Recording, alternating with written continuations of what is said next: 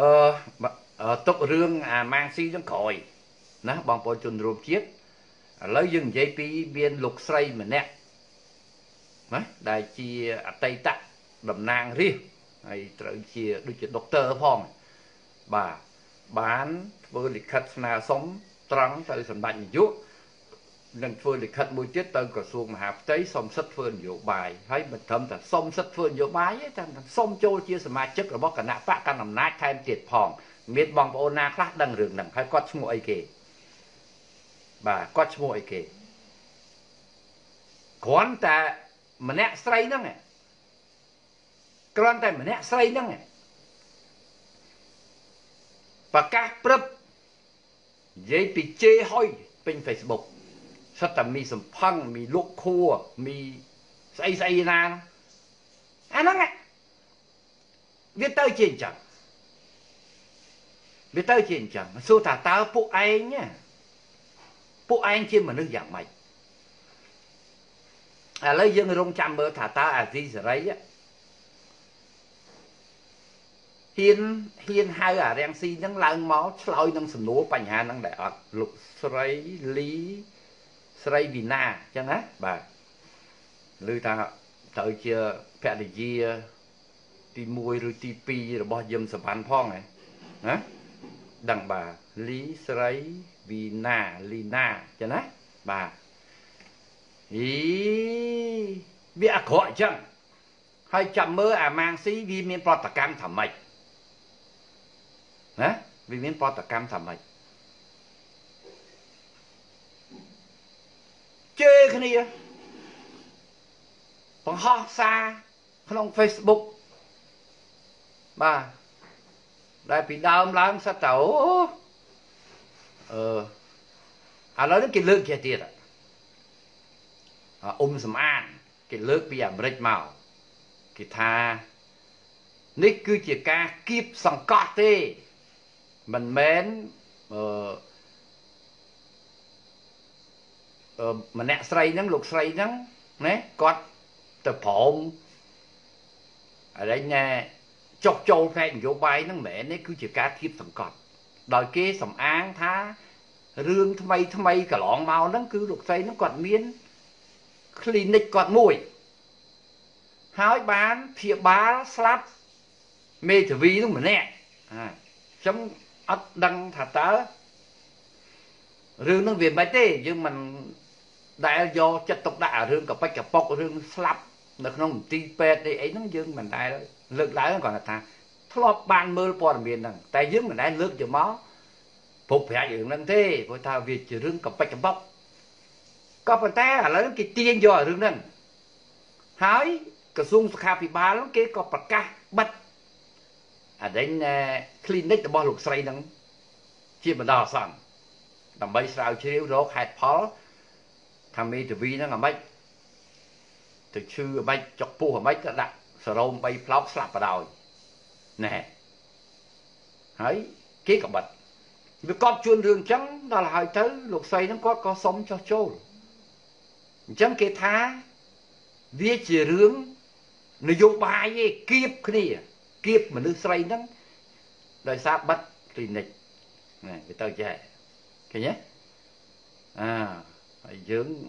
គិតថាវាមិនមែនទេឥឡូវចង់មិនចង់ខ្ញុំគិតថាស្អែកឬខាន់ស្អែកសនំពោសុំឲ្យលោកស្រីម្នាក់ហ្នឹងណាលោកស្រីម្នាក់ហ្នឹងចេញសេចក្តីថ្លែងការណ៍បំភ្លឺឲ្យច្បាស់មកបងប្អូនឯកភាពដែរទេកុំឲ្យយើងយើងមកអះអាងជំនួសគាត់ណាថាតើគាត់ត្រូវ ត្រូវចូលមកដោយការបង្ខំចិត្តឬមួយក៏ដោយស្ម័គ្រចិត្តវាមានពីរហ្នឹងអាមួយបង្ខំគៀបសង្កត់គ្នាទ្រាំអត់បានក៏ធ្វើជាចុះចូលចឹងទៅតែតាមយើងមើលអាដេញនេះអត្ថបទដែលគាត់សរសេរដោយអក្សរដៃ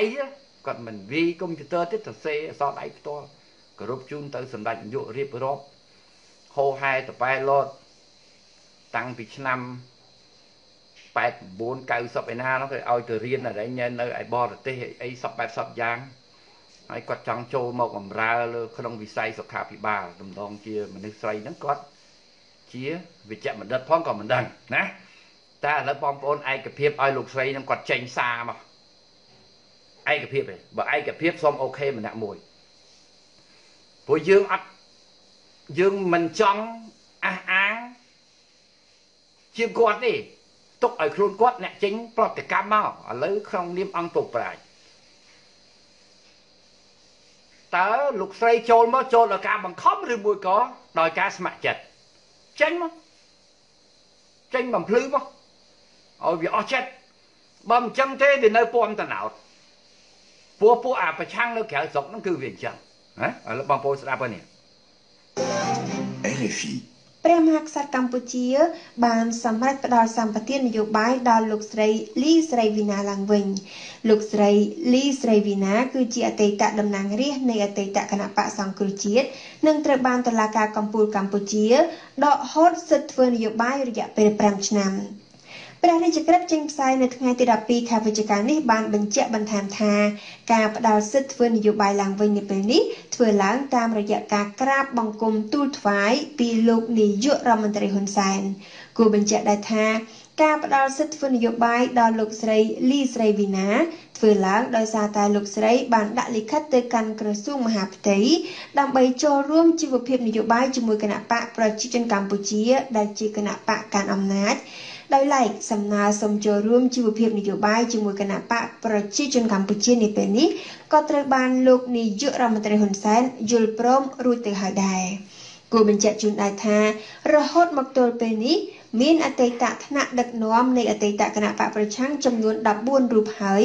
ដែលទទួលបានសិទ្ធិធ្វើនយោបាយឡើងវិញក្នុងនោះរួមមានលោកគង់គួមលោកគង់បូរ៉ាលោកស៊ីមសវណ្ណីលោករៀលខាមេរិន លោកអ៊ូចាន់រតលោកស្រីទេពសុធី លោកកងកំហាក់លោកជីវកាតា លោកច័ន្ទសិលាលោកសុនឆៃលោកតៅកឹមឈុនលោកវ៉ាសាមុនលោកសុនសុភ័ក្រ និងចុងក្រោយនេះគឺលោកស្រីលីស្រីវីណាអូខេនេះគឺជាព័ត៌មានដែលចេញផ្សាយដោយវិទ្យុបារាំងអូខេអញ្ចឹងអរគុណណាស់បងប្អូនជនរួមជាតិដែលបានខមមិនបាញ់មិញអូខេអូខេហើយសូមជួយ share ម្នាក់មួយទៀតផងបាទគ្រប់ត្រឲ្យលោកស្រីចេញសេចក្តីថ្លែងការណ៍មួយមក អានេះជាយោបល់របស់សំណុំពររបស់មហាជនទេណាបើលោកស្រីបានមើលអង្គពុកប្រាក់យើងក៏សូមឲ្យបំភ្លឺមកឲ្យវាអស់ចិត្តហើយបើឲ្យយើងអះអាងជំនួសបេះដូងរបស់លោកស្រីក៏វាមិនកើតអូខេបាទហើយឥឡូវយើងនិយាយអំពីនិយាយរឿងមួយសិនចុះនិយាយពីរឿង ថ្មីថ្មីនេះមុនឈានចូលដល់រឿងអាម៉ាងស៊ីអាសូនរាំងស៊ីយើងសូមនិយាយពីរឿងអាកូនកឹមសុកបដូររឿងបន្តិចមិញយើងស្រីយើងលើកពីរឿងបញ្ហាអឺលោកស្រីលីណាអូខេកឹមសុកកាលពីម្សិលមិញនេះ គឺយើងបានឃើញតឡាការយកដីកាកោះហៅកឹមសុក ឲ្យមកចូលសវនាការហើយយ៉ាដូចចម្លែកម៉េះថ្មីថ្មីហ្នឹងយើងបានឮហើយថារែងណែតឡាការហ្នឹងគឺកោះហៅពួកអា11នាក់ហ្នឹងឲ្យចូលសវនាការយើងបានលើករួចហើយបាទតែឥឡូវអាកូនកឹមសុកបងប្អូនស្គាល់ហើយកឹមសុកតាមការពិតកឹមសុកនេះ ក៏កំពុងតែលើកដាក់ខ្លួនថាខ្លួនគាត់នឹងធ្លាប់បានត្រូវនាយករដ្ឋមន្ត្រីកម្ពុជាហៅឲ្យចូលស្រុកមកបើឯងគ្រាន់បើអាអ្នកវិភាគម្នាក់ហ្នឹងហ្នឹងអត់ចេញឈ្មោះទេណាលោកអត់ចេញឈ្មោះក៏ប៉ុន្តែវាបានឆ្លើយមកថាវាហ្នឹងហើយអូខេថាអញ្ចឹងទៅចុះតែឥឡូវនេះឥឡូវនេះតឡាការហៅឯងហើយតែ វាបែរជាឆ្លើយតបមកវិញវាមិនឆ្លើយទៅជាមួយនឹងអរិញនៅតឡាការទេវាថាវាអត់ឆ្លើយទេតឡាការតឡាការអាយ៉ងទេណាតេលេទេបាទវាថាសរុបឲ្យខ្លីមកគឺថាវាអត់មកទេអាហ្នឹងគឹមសុកហើយថ្មីថ្មីនេះគឹមសុកនេះបានប្រកាសធ្វើពហិការលែងឡើងវត្ថុ វិភាគព័ត៌មានស្អីទៀតហើយវិភាគរឿងនយោបាយទៅថាគេសុំសម្នាក់2ខែសម្រាប់ខែ11និងខែ12តែឥឡូវហ្នឹងស្រាប់តែដល់ពាក់កណ្ដាលខែ11ហ្នឹងមានដីកាកោះហៅអាគឹមសុកហ្នឹងឲ្យចូលខ្លួនមកជំរះក្តីនេះវាចេះអញ្ចឹងក្នុងរៀបយើងអង្គពុប្រាជ្ញចង់ប្រាប់អាកូនឯងថា យកល្អឯងត្រូវគិតពិចារណាពីព្រោះគឹមសុកធ្លាប់បានសរសេរឆ្លើយតបឲ្យយើងបានឃើញ គឺគឹមសុកហ្នឹងបាននិយាយថាខ្លួននឹងអត់មានប៉ាសពតទេប៉ាសពតខ្មែរបានត្រូវប៉ូលីសនៅឯបរទេសហ្នឹងគេដកទុកបាត់ទៅហើយឯប៉ាសពតឲ្យចូលជាសញ្ជាតិអីណានោះក៏អត់ដែរអញ្ចឹង គាត់លំបាកធ្វើដំណើរហ៎តើយើងជឿអត់ខ្ញុំដូចមិនជឿឯងទេឯងនិយាយនេះកុហកហេតុអីបានជាយើងថាកុហកពីព្រោះឯងធ្លាប់ធ្វើដំណើរពីប្រទេសឯងនោះប្រទេសស្អីគេបងប្អូនហ៎ន័រវេណាមែនទេមកជួបអាកូរ៉េខាងត្បូងហ្នឹងបងប្អូនមានចាំទេ មានចាំទេគឹមសុកអញ្ចឹងឯងមកមកពីអឺរ៉ុបមកដល់ប្រទេសកូរ៉េខាងត្បូងហ្នឹងឯងហើយមកអត់មានប្រើប៉ាសពតអីទេហេអាកូនណាមើលបងប្អូនមានចាំបានទេអាគឹមសុកនឹងធ្លាប់ធ្លាប់មកជួបអារាំងស៊ីនៅស៊ីអ៊ូលអឺប្រទេសហ្វាំងឡង់ហ៎បាទគុំមនីថាហ្វាំងឡង់បាទចេញពីមកហ្វាំងឡង់មកមកកូរ៉េមែនឬមែនចាឯងមកនឹងមកឯង ឯងឯងប្រើស្អីគេមកប្រើกระดาษប្រគុណអនាម័យហ៎ប្រទេសហ្វាំងឡង់បាទហ្វាំងឡង់ត្រូវហ្វាំងឡង់ខ្ញុំវាបាទអឺរ៉ុបពីច្រើនប្រទេសវាវាមិនសូវចាប់អារម្មណ៍អាប្រទេសដែលវានៅនោះមែនទេបងប្អូនអាហ្នឹងមួយទៅឃើញទេអញ្ចឹងវាទៅសេក្នុង Facebook វាកុហកឥឡូវហ្នឹងវានិយាយវាអត់វាអត់មកទេ វាថាប្រទេសកម្ពុជាវាចង់មកថ្ងៃណាគឺគឺមកបានហ្នឹងហ្វាំងឡង់ហើយហូឡង់បាទហូឡង់ហើយហ្វាំងឡង់ហ្នឹងមិនច្បាស់ប្រទេសហ្វាំងឡង់បាទបាទហ្វាំងឡង់អូខេបងណាទូច្បាស់ហើយចឹង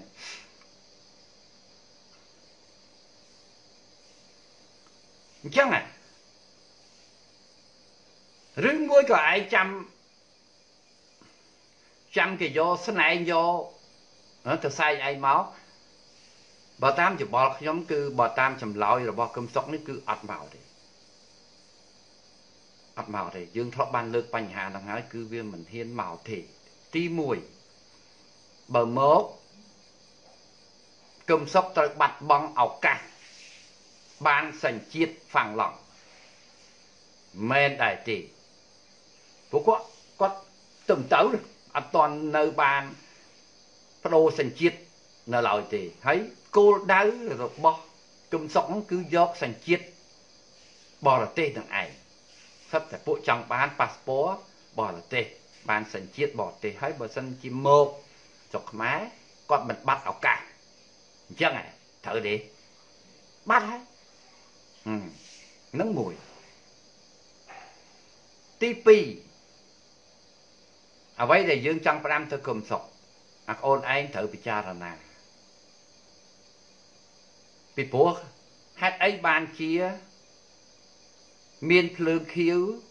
ម្ដងហើយម្ដងទៀតម្ដងពីខាងរដ្ឋាភិបាលឥឡូវខាងតឡាការទៀតហើយឯងឲ្យចូលស្រុកខ្មែរមកពីព្រោះមកពីឃើញឯងហ្នឹងមិនចូលធ្លុងជាមួយនឹងអារាំងស៊ីណា មែនទេបងប្អូនរាល់ការឡើងវិភាគទាំងឡាយទាំងពួងរបស់កំសុកតែងតែឌៀមដាមត្រង់ត្រង់សំដៅទៅលើរាំងស៊ីតែម្ដងខ្ញុំបានលើករឿងនេះពីដំបូងអាក្អូនហ្នឹង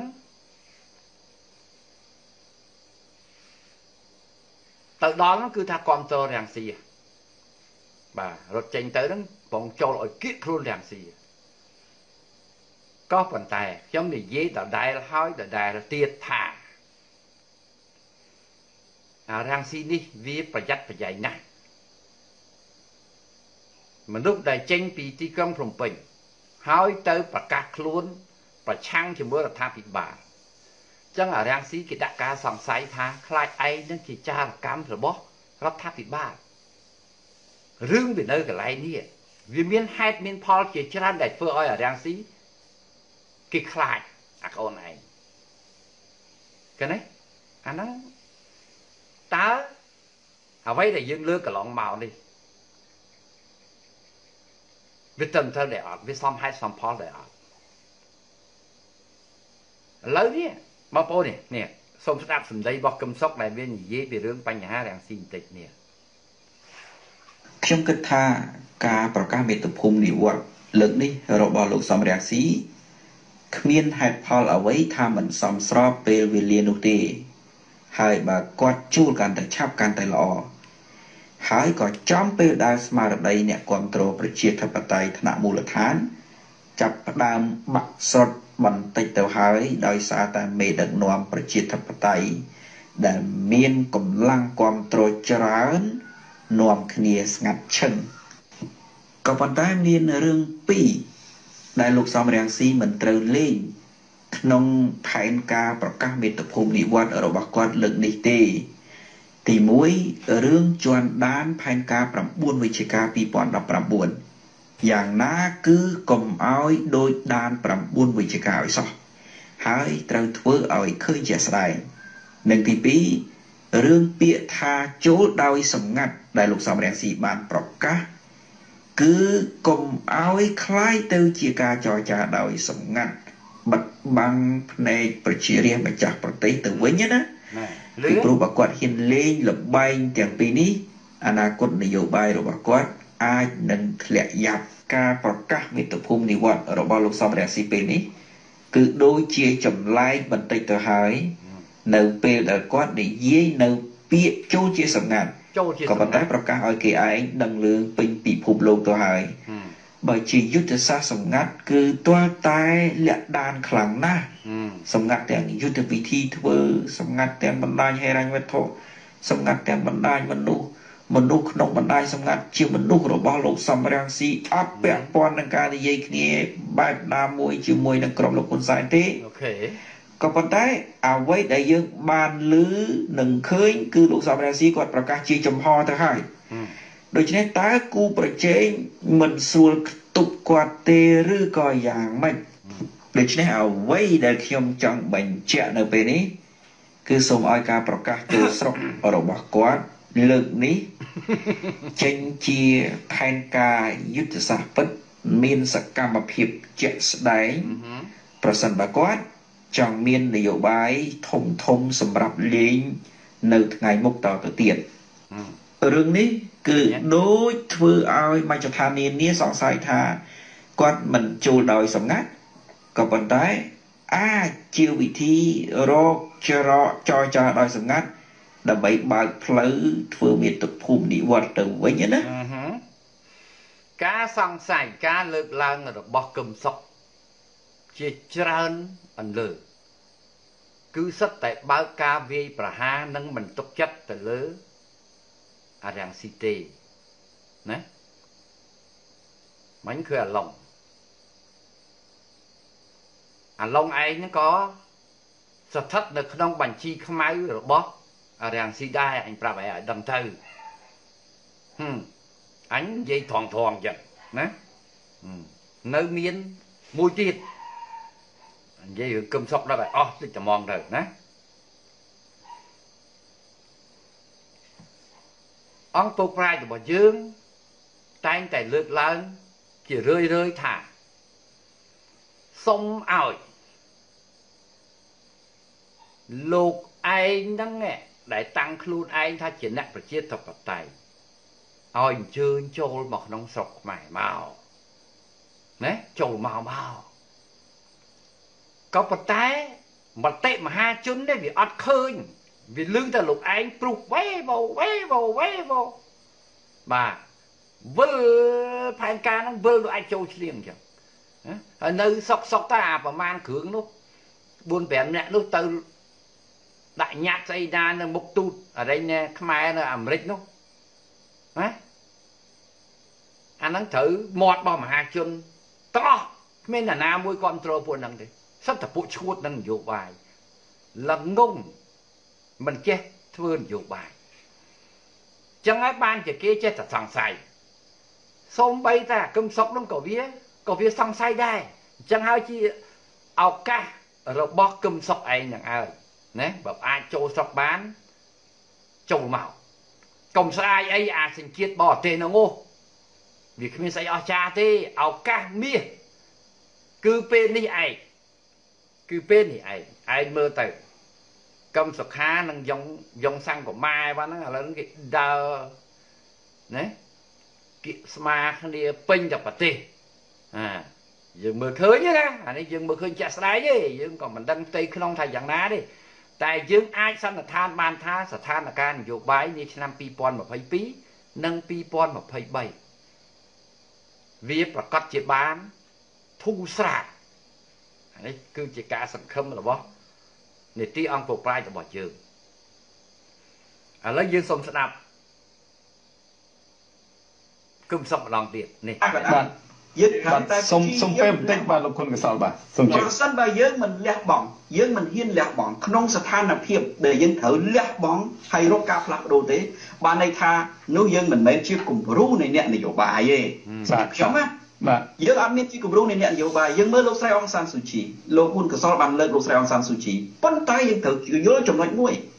អងសានស៊ូជីនៅឃុំក្នុងផ្ទះគឺឃុំក្នុងផ្ទះមិនចេញពីរបងផ្ទះទេហើយអ្នកដែលចង់ជួបអងសានស៊ូជីគឺលួចជួបទេដូចជាឧទាហរណ៍ថាដូចជាអ្នកកសែតលួចបាទអ្នកកសែតឆ្លងអាមេរិកបាទឆ្លងទន្លេកសែតអាមេរិកហើយលួចហើយឆ្លងឆ្លងរបាំង ទឹកណាដែលចូលទៅផ្ទះគាត់គាត់គ្មានឱកាសនឹងចេញពីផ្ទះដើម្បីសម្ដែងមតិដើម្បីធ្វើសកម្មភាពទេ ស្ថានភាពនៃលោកស្រីអងសានស៊ូជីនិងស្ថានភាពលោកកឹមសុខាខុសគ្នាប៉ុន្តែគំនិតរបស់ខ្ញុំមិនមែនមានន័យថារុញលោកកឹមសុខាឲ្យទៅធ្វើតែឯងទេមិនមែនអញ្ចឹងទេ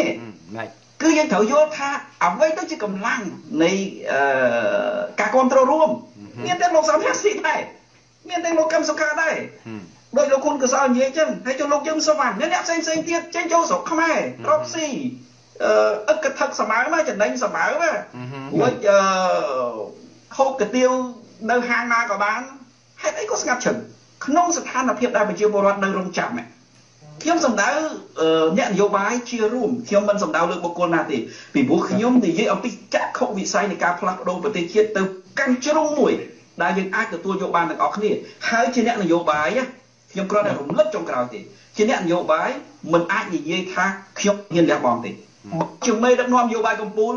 មិនហ៊ាន លះបង់ក្នុងស្ថានភាពដែលប្រជាពលរដ្ឋត្រូវការឲ្យយើងលះបង់មិនបាច់ធ្វើទេពីព្រោះអ្នកមិនមែនធ្វើនយោបាយតទល់នឹងមេដឹកនាំនយោបាយមួយទៀតនៅក្នុងសង្គមប្រជាធិបតេយ្យតម្លាទេគឺនៅក្នុងសង្គមផ្ដាច់ការហើយបើយើងមិនស្គាល់មេដឹកនាំនយោបាយជាគូប្រជែងរបស់យើងផងឬអត់អាឡុងមិនថាមិនស្គាល់ទេយើងមិនដឹងថាតើត្រូវលះបង់បណ្ណាដើម្បីយកឈ្នះគូប្រជែងរបស់យើងផងអានឹងមិនបាច់ធ្វើវិញកុំឲ្យប្រជាពលរដ្ឋពិបាកពិបាករើសហើយ ទៅជារកការផ្លាស់ប្ដូរមិនបានទេណាបាទបានសូមអរគុណច្រើនលោកកឹមសុខបាទអានឹងបងប្អូនឃើញលឺហើយមែនដែរទេសញ្ញាបែបនេះហើយដែលអង្គប្រប្រាយរបស់យើងគិតថាវាជាឱកាសមាសដែលអាកូនឯងហ្នឹងអាកូនឯងចេះរុញឲ្យរាំងស៊ីចូលស្រុកចុះខ្លួនឯងមិនកំចូលមកអារឿងមកនៅកន្លែងនេះ ចូលមកឥឡូវនេះគឺតឡាការហៅឯងហើយឯងចូលមកគុំបានតែមាត់ហើយក៏ដើម្បីដើម្បីអីបើឯងចូលមកឯងហ៊ានបន្តតាំងក្តីជាមួយនឹងតឡាការទីក្រុងភ្នំពេញឯងអាចមានឱកាសឈានចូលប្រឡូកក្នុងឆាកនយោបាយបានយ៉ាងណាមិញក៏ក្រនបើជាងពួកអាឡុងនិងពួកអតរា សូនតារាដែរពួកអាឡុងដូចខ្ញុំនិយាយប្រាប់ចឹងអាឡុងនេះមួយសូនតារានេះ2គឹមសុកនេះ3សង្ឃបុនតែងនេះ4 4អ្នកហ្នឹងសិតតែស្ថិតនៅក្នុងបញ្ជីខ្មៅដែលអារាំងស៊ីគេកត់សម្គាល់ឯងត្រូវស្ដាប់អញឲ្យបានអញមិនខ្លាចទេ អញមិនខ្លាចនឹងបង្ហើបអានេះគ្រាន់តែជាការគិតមើលទេអាហ្នឹងយើងនិយាយឲ្យវាមានការមានការពិចារណាណាសិតតអ្នកលមោពេញវ័យហើយវ័យនេះសំលមមនឹងអាចជំនួសពួកប្រឆាំងគេហៅថារលកថ្មីនៃក្តីសង្ឃឹមរបស់ពួកប្រឆាំង អញ្ចឹងពួកឯងហ្នឹងហើយណាអត់ពីពួកអញចាស់ចាស់ទៅពួកឯងហ្នឹងឡើងប្រឡូកមកឡើងប្រឡូកមកជាឱកាសហើយអូខេឥឡូវយើងចូលដល់រឿងរាំងស៊ីរាំងស៊ីបានធ្វើកិច្ចសម្ភាសជាមួយនឹងជនច័ន្ទបុតអូខេបងប្អូនឥឡូវសូមស្ដាប់សម្ដីរបស់អារាំងស៊ីបន្តិច ណាសូមស្ដាប់នេះជីវភាពនយោបាយក្នុងឆាកឈុតឆាកនយោបាយនៃប្រទេសកម្ពុជានឹងតើគណៈបកសង្គ្រោះជាតិនឹងមានជំរឿនណាផ្សេងទៀតទេអាដាមឆ្លើយយ៉ាងខ្លីថាប៉ះសិនបើលោកហ៊ុនសែនផាត់សង្គ្រោះជាតិប្រជាពលរដ្ឋខ្មែរនឹងផាត់លោកហ៊ុនសែនតើផាត់បែបណាតាមការធ្វើយ៉ាងណាដែលឲ្យផាត់លោកហ៊ុនសែនបានអាដាមសូមជើញឥឡូវនេះស្ថានភាពកំពុងតែប្រែប្រួលហើយទូទាំងពិភពលោក ថ្ងៃនេះយើងដឹងលទ្ធផលការបោះឆ្នោតជ្រើសរើសប្រធានាធិបតីនៅសហរដ្ឋជាចរិតរៈកំផែលដូចក្តិតលោកនេនបងប្អូនមានឮសំណួររបស់ជនច័ន្ទបុតដែរទេជនច័ន្ទបុតសួរថាម៉េចអានឹងឲ្យតែគេសួរគោវាឆ្លើយកបីមិនដឹងជាយ៉ាងម៉េច គេសួរថាតើប្រជាពលរដ្ឋនឹងផាត់លោកនាយករដ្ឋមន្ត្រីហ៊ុនសែននឹងផាត់របៀបម៉េចដល់វាឆ្លើយវាឆ្លើយទៅរឿងអាមេរិកកាំងណានោះឆ្កុយឥឡូវបងប្អូនជួយពិចារណារាល់ដងហើយអាជនចិនបុកនឹងក៏វាដូចជាផ្ចាញ់ផ្ចាលអីរាំងស៊ីនឹងក៏សម្បើមដៃណាស់ដែរជនចិនបុក ឥឡូវបានបែកធ្លាបែកធ្លាចារកម្មតែគេប្រើអស់តម្លៃគេវាយចោលអាហ្នឹងវាធម្មតាទេដូចអាឡុងអីជាដើមឯងត្រូវយល់ណាហើយស្គាល់ជនច័ន្ទបុតហ្នឹងស្ដើងពេកហើយណាតែឥឡូវនេះក៏ក៏អត់តន់ប្រកាសដែរសក្នុងសខ្មៅនៅក្នុងខ្មៅជួនកាលណា យើងឃើញខាងខាងភៀកគីរដ្ឋាភិបាលជើងភ្នំពេញបើកកកាយអូសត្វតែបត់នឹងធ្លាប់ជាចារកម្មរបស់គាត់យូរមកហើយអូខេតែយើងយើងនាំគ្នាគិតថាអូបែបលែងប្រើហ៎មិនទេជួនកាលវាអាចនៅបន្តការប្រើរឹតតែរឹតតែខ្លាំងពិបាកបងប្អូនអានេះគេហៅថាក្បាច់ចាក់ស្រែចារកម្មគេលេងចារកម្មនៅ ក្នុងចារកម្មទៅទៀតអញ្ចឹងសូមបងប្អូនស្វែងយល់លើបញ្ហានេះឲ្យបានត្រឹមត្រូវផងឥឡូវចាំស្ដាប់មើលថាតើរាំងស៊ីគេឆ្លើយថាម៉េចអាមេរិកលោក Biden គណៈបកប្រជាធិបតេយ្យឈ្នះហើយវាទៅយ៉ាងដូច្នេះពួកប្រជាធិបតេយ្យនៅសហរដ្ឋអាមេរិកគេមានគម្រោងគេមានផែនការគេមានក្រុមការងារគេមានក្រុមយុទ្ធសាស្ត្រ មិនមែនដោយលោក Trump លោក Trump នោះគាត់ជាបុគ្គលនិយមគ្រួសារនិយមគាត់គិតអីគាត់ធ្វើតែខ្លួនគាត់សួរកូនគាត់កូនប្រសាគាត់គ្នាគាត់មកក្រុមដូចថាជាជាបុគ្គលតែអ្នកប្រជាធិបតេយ្យគេមានចាស់ពវិស័យឥឡូវបងប្អូនបានឮអត់ទី1ជនច័ន្ទបុកសួរថាតើទាត់លោកហ៊ុនសែនទាត់របៀបម៉េចអានេះវាឆ្លើយទៅរឿង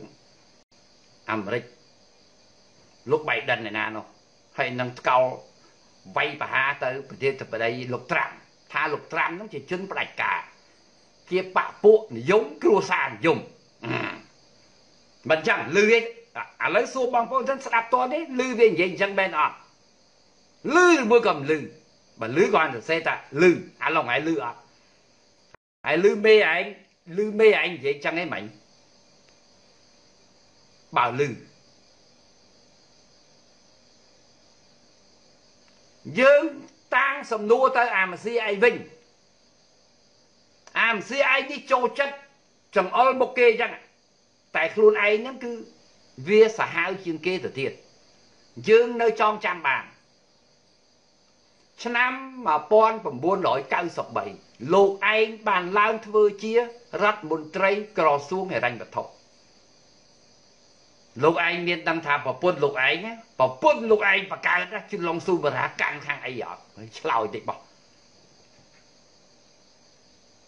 ឆ្លោយតិចមកហើយបងប្អូនលោកឯងចដូនមួយចទួតមួយគ្រាន់តែជាប់ខ្សែហហ្នឹងណាកាន់សិតតែកន្លែងខ្លាញ់នៅក្នុងក្រសួងរញ្ញវត្ថុកន្លែងក្រួយហ្នឹងក៏មានដែរ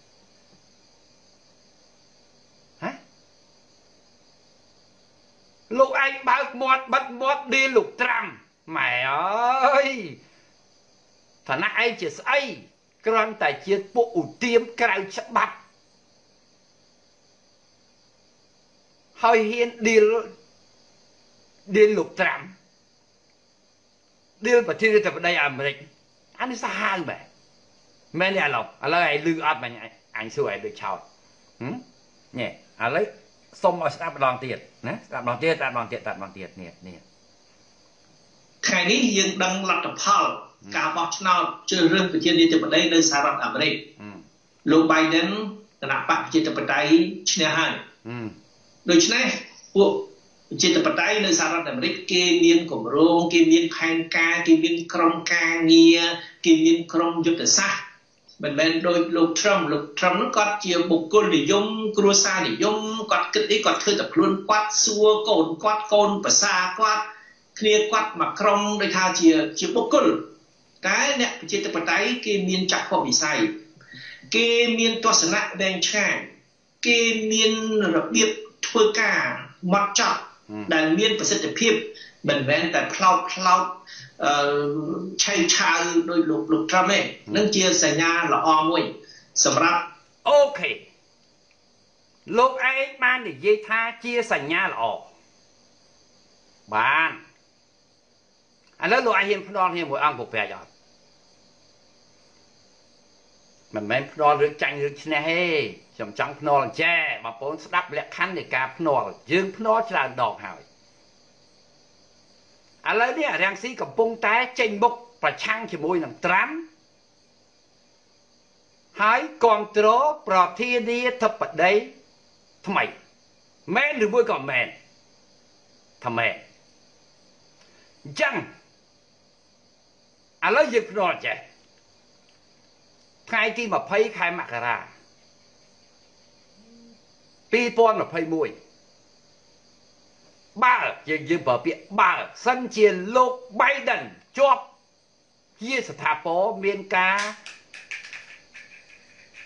ឡើងកាន់តំណែងជាផ្លូវការ ត្រឹមត្រូវហើយហើយលោក Biden ហ្នឹងរំលឹកឈ្មោះរាំងស៊ីឯងតែមួយម៉ាត់អញចាញ់ឯងមួយលានដុល្លារឯងហ៊ានភ្នាល់អត់មួយអាទិត្យ អញ្ចឹងស្មើនឹងថ្ងៃទី27យើងនិយាយទេទុកពេលមួយអាទិត្យភ្នាល់នេះបងប្អូនជនរួមជាតិអានេះស្អីឡើងគេមិនទាន់ដឹងក្បាលមិនដឹងកតុយគេមិនទាន់ប្រកាសលទ្ធផលស្អីផងវាចេញមុខឡើងមកថាបៃដិនឈ្នះអូខេថាឈ្នះទៅចោះហើយឥឡូវនេះគេកំពុងតែបណ្ដុះ គេកំពុងតែឃោសនាឲ្យកូនចៅខាងក្រោមគេហ្នឹងសប្បាយចិត្តទៅអស់ពីអាត្រាំទៅលោកបៃដិនហ្នឹងគេនឹងជួយពួកឯងហើយអូខេឥឡូវយើងរុញទូកបណ្ដោយទឹកយើងភ្នាល់គ្នាសាកលោមើលឯហ៊ានភ្នាល់ជាមួយនឹងអញអត់មើលបងប្អូនម្ដងទៀតលក្ខខណ្ឌនៃការភ្នាល់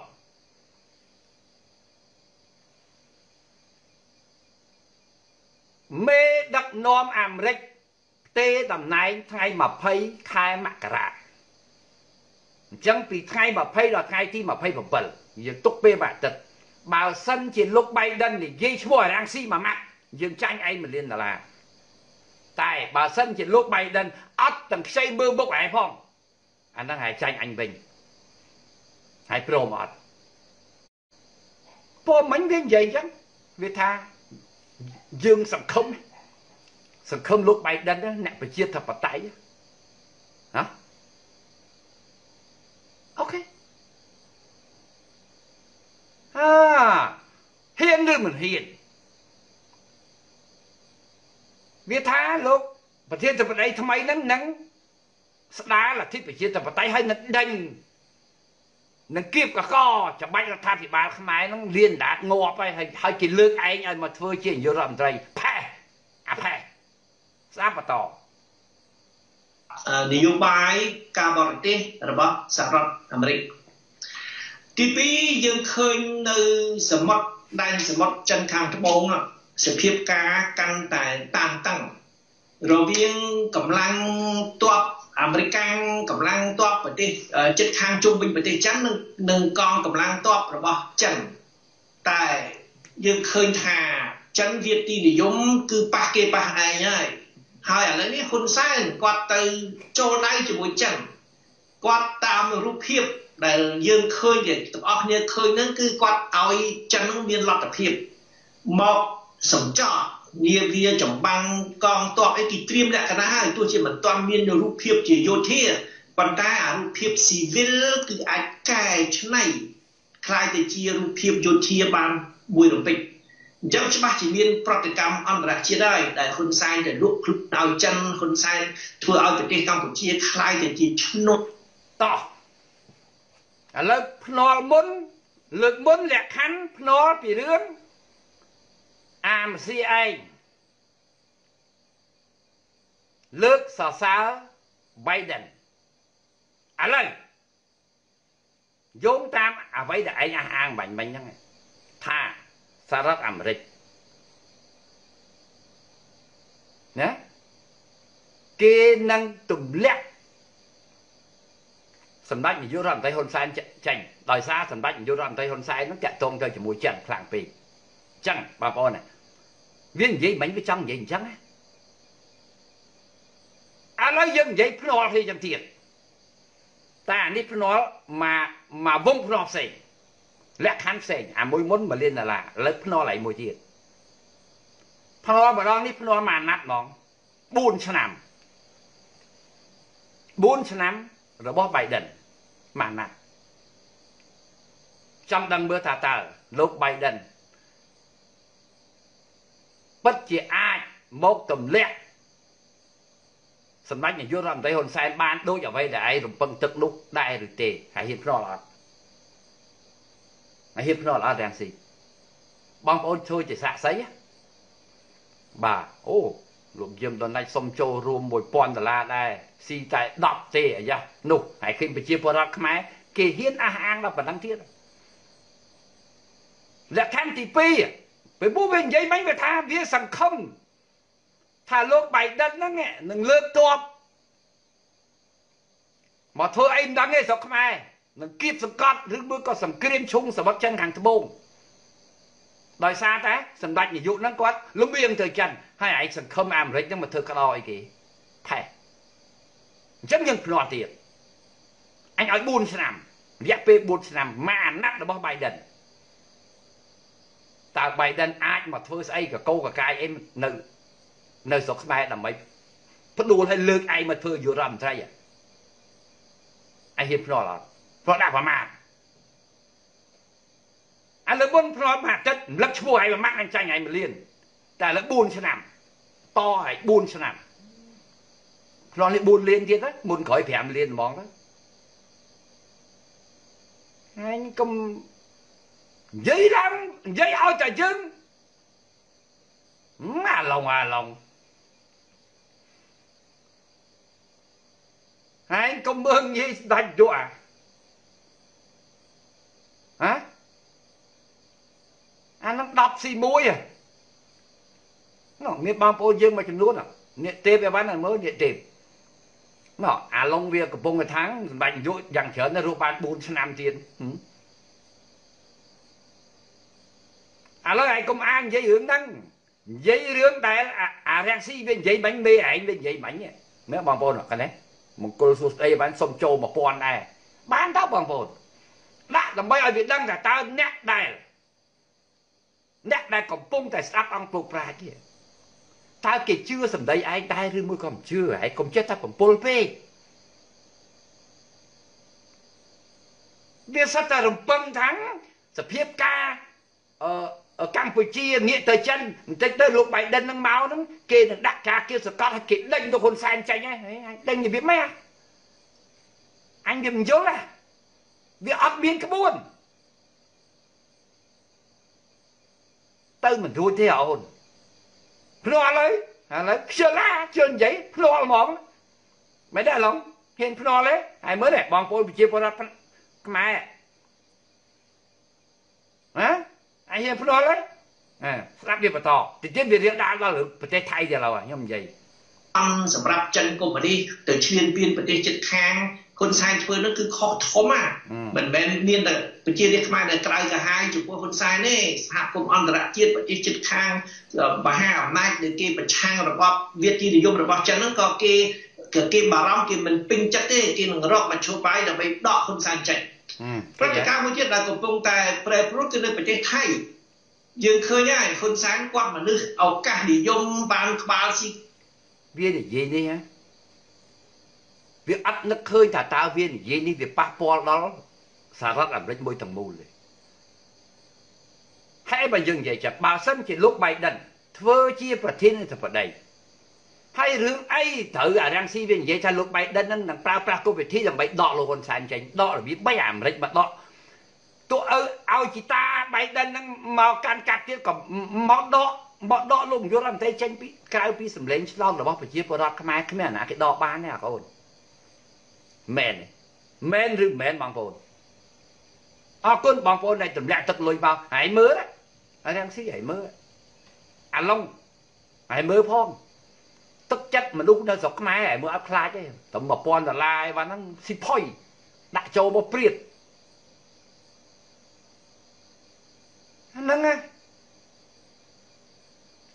សូម្បីតែនយោបាយការបរទេសក៏អាពងក្តោ3ហ្នឹងវាអត់មានស្អីទេឥឡូវអានេះនិយាយមកគឺសូនរាំងស៊ីបងសល់អាពងក្តោទេហីដូចស្រាត់ខោដើរកាត់សាថ្មីចឹងណាអានឹងនិយាយឲ្យវាអស់ទៅវាអញ្ចឹងណាបងប្អូនណាខ្ញុំអោឲ្យថាអានឹងវាហើបមាត់ទេឲ្យតែវាហើបមាត់គឺស្រួលមកអានេះ អួតខ្លួនវាសិតតែបណ្ឌិតនឹងបណ្ឌិតម៉ែវាស្អីអត់ចេះលេងនយោបាយអត់ស្គាល់ស្អីទៅដែលហៅថានយោបាយការបរទេសផងលោកបៃដិនឯណានឹងអាចមកមកដកលោកហ៊ុនសែនចេញបានណាអញសួរឲ្យដូចឆោតចេះតែមានតែមកអាឥឡូវវារៀនដាល់ដល់រឿងថៃទៀតនេះសុំស្ដាប់ បានបានកតុយស៊ីកតុយ គាត់ទៅអោបពួកយោធាថៃគាត់ទៅពឹងពួកយោធាថៃកុំឲ្យសំរងស៊ីឆ្លងកាត់ប្រទេសថៃអញ្ចឹងហើយបានគាត់ដើម្បីសងគុណពួកយោធាថៃនោះគាត់ឲ្យគេមកចាប់អ្នកប្រជាធិបតេយ្យខ្មែរអប្រជាធិបតេយ្យថៃនៅលើដែនដីប្រទេសកម្ពុជា បាត់ខ្លួនយកទៅសម្លាប់ក៏មិនដឹងដែរអញ្ចឹងគឺថាហ៊ុនសែនចូលដៃជាមួយពួកផ្ដាច់ការនៅប្រទេសថៃផ្ដាច់ការហើយផ្ដាច់ការគេចូលដៃជាមួយគ្នា តែកម្លាំងប្រជាធិបតេយ្យនៅប្រទេសថៃហ៎ឃើញហើយអានេះអត់រៀងមែនអត់រៀងនៅតែជ្រៀតជ្រែកកិច្ចការផ្ទៃក្នុងរបស់ប្រទេសថៃដដែលបងប្អូនដឹងហើយថាឥឡូវនេះស្ថានភាពនៅក្នុងទីក្រុងបាងកកគឺមានបាតុកម្មរវាងនិស្សិតដែលគេតាំងខ្លួនថាគេជាកម្លាំងប្រជាធិបតេយ្យហើយគេចង់កាត់បន្ថយអំណាចព្រះមហាក្សត្ររបស់គេគេចង់ឲ្យបង្កើតអឺ ឲ្យលោកទី1គេឲ្យលោកប្រយុទ្ធចុះចេញទី2គេចង់ឲ្យបដូររដ្ឋធម្មនុញ្ញទី3គេចង់ឲ្យចែងអំណាចព្រះមហាក្សត្រនឹងឲ្យឲ្យនៅក្រោមដំបូលរដ្ឋធម្មនុញ្ញចឹងហើយគេលើកម្រាមដៃ3ចឹងហើយអាពងក្តោប3ហ្នឹងទៅលើកអញ្ចឹងគេដែរអញ្ចឹងបានន័យថាម៉េចអានឹងហើយ គេហៅថាអាភ្លើនយោបាយអាល្ងងនយោបាយ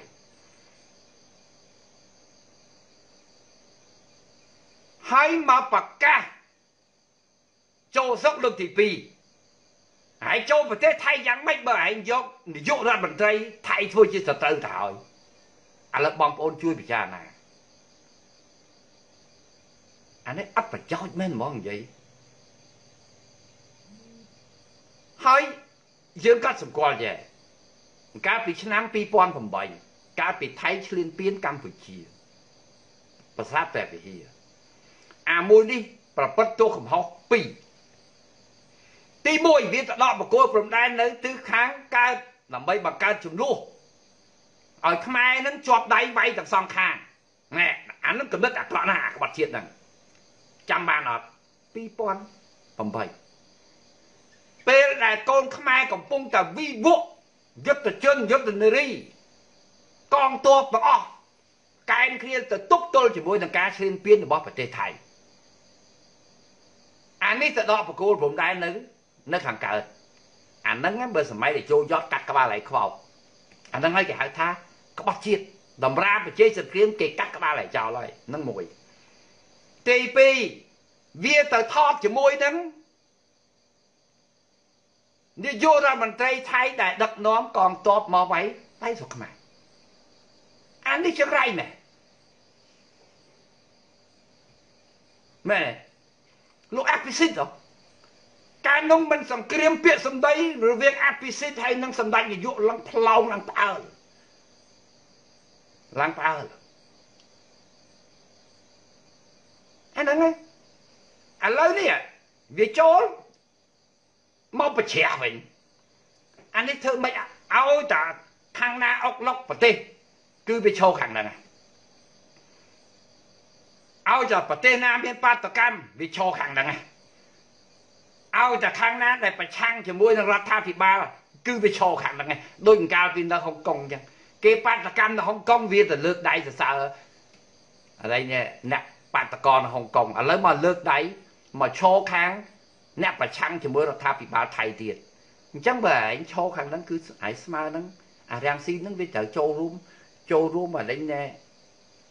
គេហៅថាជាតិជ្រែកកិច្ចការផ្ទៃក្នុងរបស់ប្រទេសថៃមិនចឹងហើយដល់ចឹងហែងគុំហែងគុំថាអូសត្វតហ៊ុនសែនហ្នឹងទៅយកលុយទៅសោកទៅប៉ាន់ទៅអង្វរនាយករដ្ឋមន្ត្រីប្រយុទ្ធដើម្បីបិទផ្លូវកុំឲ្យលោកឯងជិះយន្តហោះ ឆ្លងកាត់អរិញណែប្រទេសឬក៏ឆ្លងកាត់ទីក្រុងបាងកកលាក់លាក់ស្ដាប់សម្ដីវាទៅវាឆ្លើយអញ្ចឹងហើយតែប៉ុណ្ណាហើយចាំមើលសម្ដីហើយប៉ុណ្ណឹងហើយអង្គពុកប្រាយយើងលើកប៉ុណ្ណឹងហើយចាំមើលតើប្រយុទ្ធគេបើកភ្លើងបៃតងហើយចុះចុះចូលទៀតអត់អត់ទៀតណាហ្នឹងចឹងសុំស្ដាប់បន្តនេះ កំពុងតែផុសផុលសម្បំដោយកម្លាំងប្រជាធិបតេយ្យនៅប្រទេសកម្ពុជាអញ្ចឹងដែរមិនយូរមិនឆាប់កម្លាំងប្រជាធិបតេយ្យនៅប្រទេសថៃនិងកម្លាំងប្រជាធិបតេយ្យនៅប្រទេសកម្ពុជានឹងចាប់ដៃគ្នាដើម្បីកម្ចាត់ពួកជនប្រជាការចេញដើម្បីរៀបចំឲ្យប្រទេសយើងទាំងពីរបានស្គាល់នៅលទ្ធិប្រជាធិបតេយ្យពិតប្រាកដដូច្នេះកត្តាច្រើនដែលខ្ញុំរៀបរាប់បាញ់មិញ វានឹងជំរុញឲ្យមានការផ្លាស់ប្ដូរនៅប្រទេសកម្ពុជាពីព្រោះខ្យល់កំពុងតែបក់ខ្ជុះខ្លាំងរបស់ហ៊ុនសែននឹងគឺឈរមិនជាប់ទេយើងមើលមិនឃើញក្នុងនាមយើងជាប្រជាពលរដ្ឋដែលជាខ្មែរម្ចាស់ស្រុកនេះយើងមើលអត់ឃើញមានខ្យល់ព្យុះអីដែលបក់មកពីប្រទេសថៃឬក៏ខ្យល់ព្យុះអីដែលបក់មកពីសហរដ្ឋអាមេរិកដើម្បីមកទាញទម្លាក់រាជរដ្ឋាភិបាល សប្ងៃហ្នឹងយើងមើលមិនឃើញសោះហើយអានេះវាចឹងស្រឡឹងទៅដេកអានេះដេកយល់សពនិយាយទៅដេកយល់សពទាំងទាំងភ្នែកទាំងភ្នែកស្រស់ហ្មងណាបងប្អូនវាហួសហេតុពេកចឹងហើយបានជាយើងសូមការអនុញ្ញាតបងប្អូនចាក់សម្លេងរបស់វាឲ្យបងប្អូនស្ដាប់កុំឲ្យបងប្អូនថាខ្លះថាតាសវណ្ណជួយប្រម៉ូតឲ្យរាំងស៊ីអឺបបើឯងយល់ថាខ្ញុំប្រមូលអីរាំងស៊ីអាហ្នឹងតាមតាបងប្អូនទៅចុះ ក៏ប៉ុន្តែចរិតអង្គពុកប្រាជ្ញគឺយ៉ាងបើចង់វាយអារាំងស៊ីចាំបាច់ត្រូវតែចាក់សំលេងអារាំងស៊ីឲ្យឲ្យស្ដាប់ណានេះអរគុណមេឃនេះបងប្អូនមើលនេះនេះជារូបភាពឯកសារនេះបងប្អូនឃើញទេ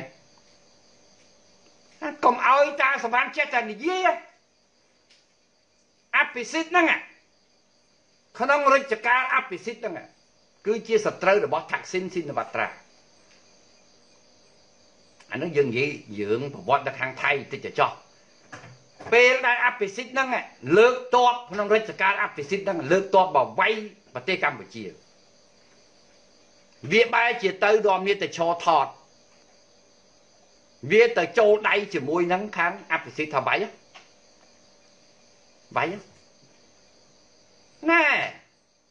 អាហ្នឹងណាខ្ញុំអត់និយាយច្បាប់ឥឡូវខ្ញុំមិនសូវដឹងទេតែបើខ្ញុំឲ្យខ្ញុំរៀនប្រវត្តិសាស្ត្រដែលចូលយត់វិញអាហ្នឹងគេយកអាហ្នឹងទៅកាត់ក្បាលចោល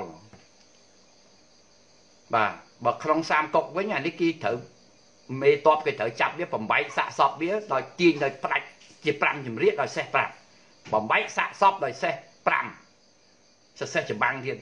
ទោសវាទោសប្រហារជីវិតអានោះទោសក្បត់ជាតិបងប្អូនណា ហេតុអីបានយើងនិយាយចឹងពេលដែលប្រទេសជាតិជួបច្បាំងជាមួយនឹងប្រទេសថៃអានឹងវាទៅរួមខាងខាងបរទេសអាហ្នឹងគេហៅក្បត់ជាតិដែរក្បត់ជាតិចំតួបងមែនឬមិនមែនបងប្អូនឆ្លើយមក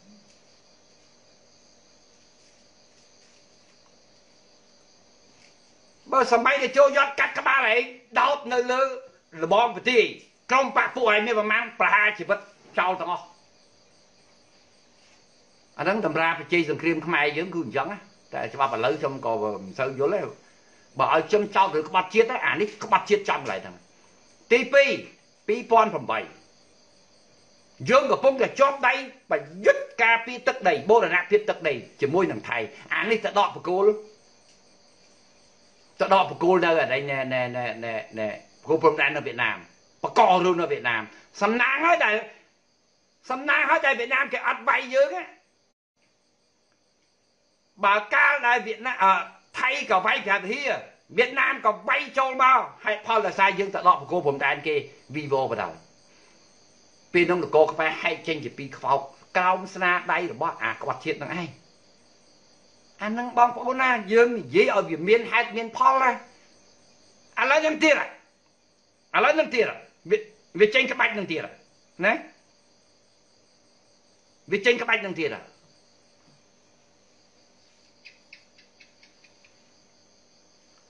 ដ្ឋាភិបាលកម្ពុជាសូម្បីតែសេចក្តីថ្លែងការណ៍អីតែមួយម៉ាត់ក៏អត់មានអត់មានតន់លូកលាន់ជាមួយនឹងអាមេរិកទៅទេណាអ្នកចាស់ទុំនយោបាយគេលេងអញ្ចឹង ហើយខ្ចីពេកហើយអាម៉ាំងស៊ីបងប្អូនជនរួមជាតិកុំឲ្យតែខ្ញុំចេះតែឯងនិយាយអាក្រក់ទៅពីគេអញ្ចឹងឲ្យរហូតសរសើរវាអត់កើតតែសរសើរមួយយ៉ាងដែរនិយាយឃើញទៅកុំឲ្យថាយើងវាមិនសរសើរវាលេខ1ខាងបោកប្រាស់អាហ្នឹងត្រូវតែឲ្យមេដៃហើយ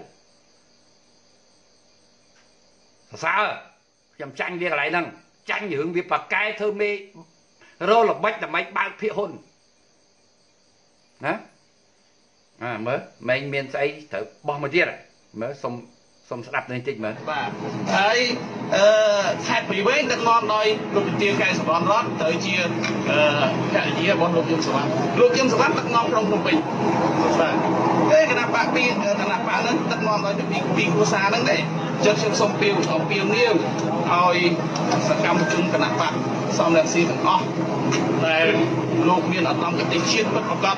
ស្នេហាជាតិពិតប្រាកដហើយមករួមជាមួយនឹងគណៈបកប្រជាធិបតេយ្យគឺគណៈបកសិទ្ធិមនុស្សនៅពេលខាងមុខនេះឯងមកមានមន្ត្រីកំពូលអូនេះអនេះក៏ជាសត្វតែឯកសារល្អល្អបាទ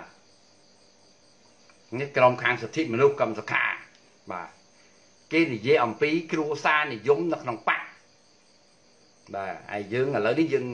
ហើយកុំរំលឹករឿងចាយនិយាយពីរឿងថ្មីថ្មីនេះ ណាបងប្អូនជនរួមជាតិវាអត់ត្រូវវាអត់ត្រូវ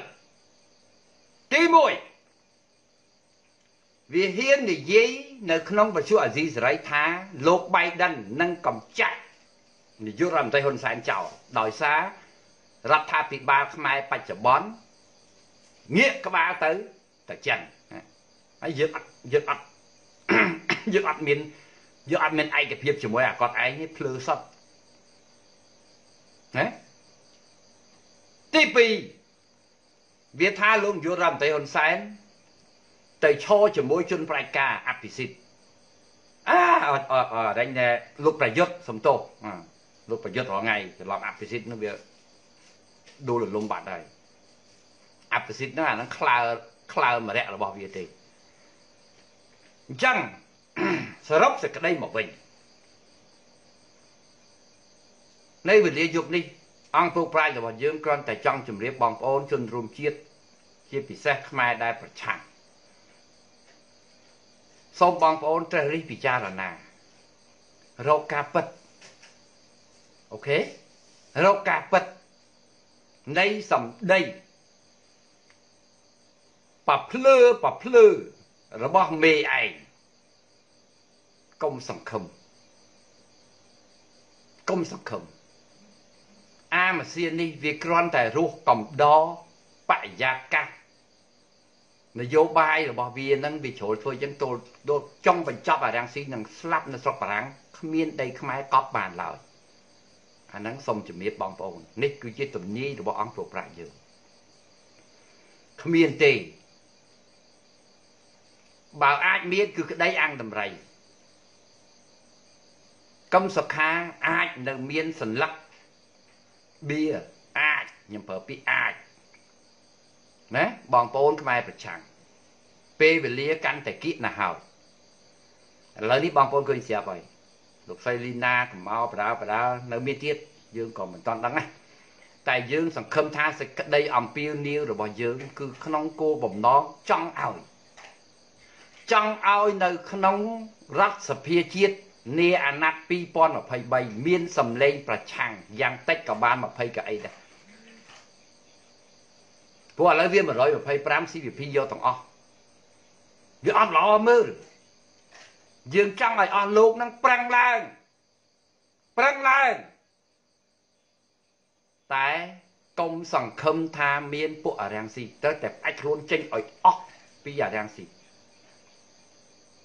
អាហ្នឹងសូមជំរាបបងប្អូនអញ្ចឹង បាទនេះគឺជាទំនាយរបស់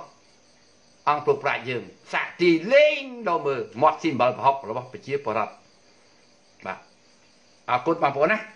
ខ្ញុំអត់ទាន់បានបាយមួយម៉ាត់ផងឥឡូវនេះមូពោះហេវបាទសូមជម្រាបលាបងប្អូនត្រឹមប៉ុណ្ណឹង